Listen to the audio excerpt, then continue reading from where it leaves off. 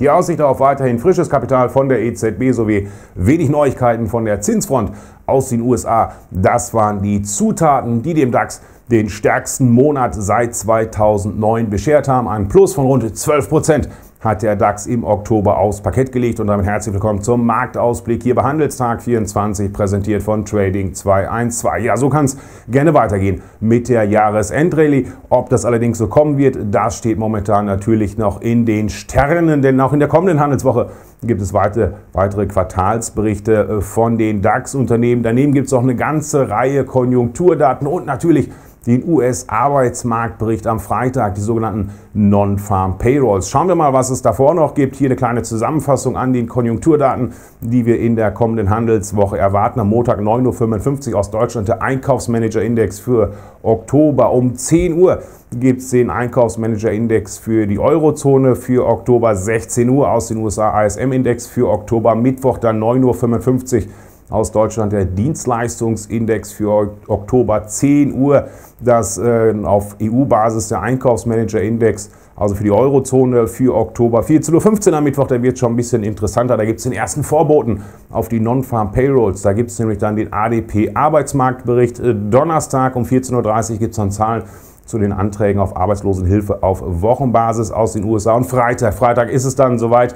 Dann gibt es den Arbeitsmarktbericht aus den USA, die sogenannten Non-Farm Payrolls. Schauen wir mal, wie der DAX für die kommende Handelswoche positioniert ist. Zunächst erstmal im Tageschart sehen wir das in der abgelaufenen Handelswoche nach dieser starken Rallye hier über die Marke von 10.512 Zähler nicht mehr allzu viel passiert ist. Widerstandsziel auf der Oberseite bleibt erstmal die Marke von 11.052 Zähler. Zwar war die letzte Woche etwas langweilig, aber hier im Stundenchart, wenn wir da mal schauen, dann sehen wir, dass der DAX momentan in so einer Range hier verläuft. Auf der Unterseite 10.691 Zähler, Oberseite hier der Bereich 10.863 Zähler.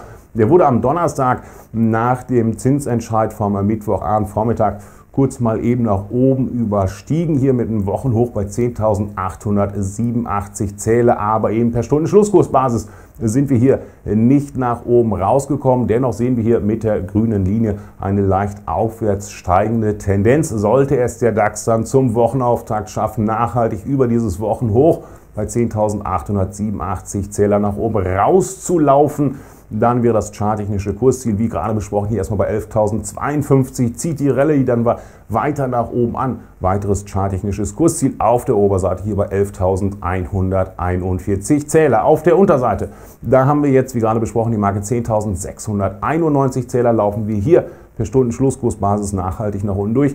Dann können wir noch mal ein bisschen Korrektur bekommen, sogar bis in den Bereich von 10.482 Zähler. Auch da noch mal eine wichtige Unterstützung. Und der Aufwärtstrend, der hier noch weiter eingezeichnet ist, die Aufwärtstrendlinie, wäre dann damit auch weiterhin noch intakt. Bis dahin wünsche ich Ihnen erstmal ein grusames Wochenende, einen positiven Start in die neue Handelswoche. Weitere Analysevideos wie immer auf handelstag24.com. Machen Sie es gut, bis zum nächsten Mal.